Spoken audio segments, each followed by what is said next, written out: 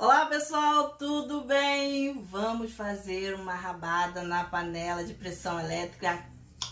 Uma delícia, maravilha!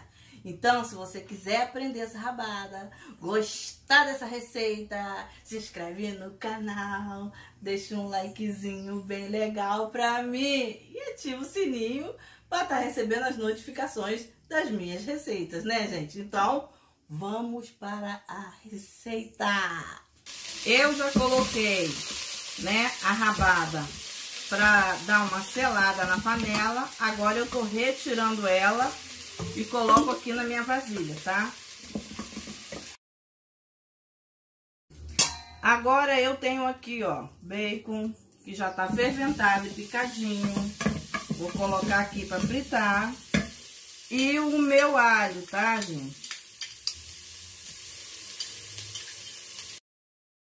Enquanto frita aqui, eu providencio o restante dos ingredientes, tá? Bom, gente, nosso alho já tá bem fritinho, tá bem fritinho, ó. Mais o bacon aqui. Então, eu vou colocar de volta aqui na minha panela, ó. Rabo de boi. Ele foi ferventado. E depois eu coloquei aqui ele na panela, né? Só para selar. Coloco ele aqui dentro. Venho com meus temperinhos, cebola, pimentão, tomate, o tempero que você gostar. Cheiro verde. Coloco aqui na minha panela. Se você gostar um sachêzinho daquele de tempero do Nordeste você coloca. Se você não gostar, você não coloca. Vou colocar o sal. Não vou colocar muito. Depois eu vou colocar legumes aqui dentro. Então não vou colocar muito sal, porque depois eu vou provar. Ainda vou botar o, o azeitona. E o bacon também já tem sal, tá? Vou tampar a minha panela por 30 minutos. Vou colocar um pouco de água que essa aqui é uma carne mais seca e eu quero ela com caldo para depois cozinhar o restante.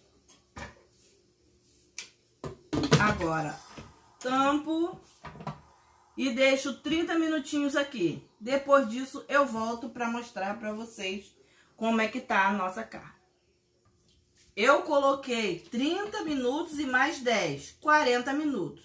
Então, se você for colocar na sua, quando você botar aqui pra cozinhar, coloca logo no modo feijão, que é 40 minutos, você não precisa ficar tirando nada, tá?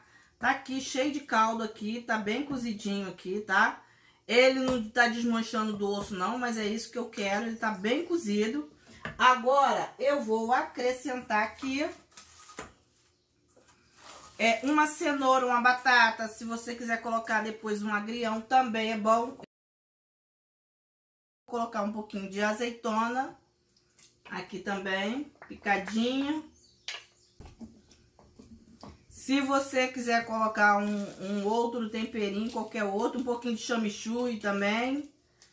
É a seu gosto, fica a seu gosto.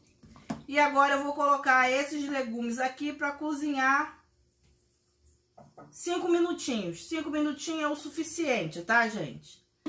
Depois tem que, é claro, toda vez que você for abrir a panela antes, você tem que tirar aqui, ó, a pressão, tá? Ela tem que estar tá totalmente sem pressão. Daqui a cinco minutinhos eu volto e mostro pra vocês. Ó, já tirei o arzinho de novo na panela, deu cinco minutinhos aqui, ó. Nossa, tá borbulhando, ó. Tá tudo cozidinho.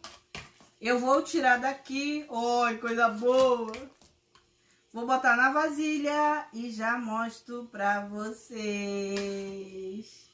Ó, cheio de caldinho. E eu não coloquei... Eu coloquei um meio litro de água só. Não coloquei muita não, tá? Então, já vou mostrando pra vocês aqui como é que vai ficar. Já volto. Olha só, gente. Já coloquei aqui na minha travessa, olha. Que maravilha. Nossa, tá cheiroso. Muito bom, que eu já experimentei, tá uma delícia. Então, faz aí, muito fácil, na panela de pressão.